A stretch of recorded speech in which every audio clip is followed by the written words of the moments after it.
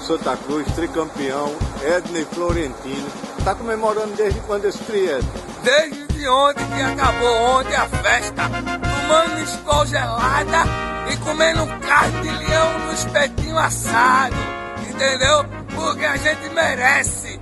Já é o terceiro ano consecutivo que a gente vem ganhando dessa, desse esporte. Isso pra mim é nada, entendeu?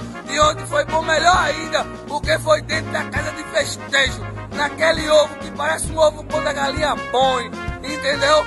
A gente, eu sou tricolor, até a morte, até morrer, desde pequeno que eu sou tricolor. Hoje eu batalho, eu tenho, mas eu não vou deixar.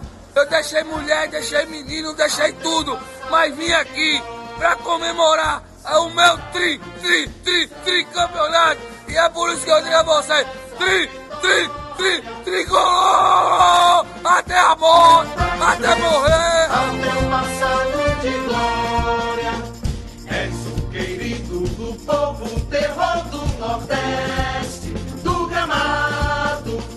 Tuas vitórias de hoje nos lembram vitórias. Muito feliz, é tri, tri, tricolor.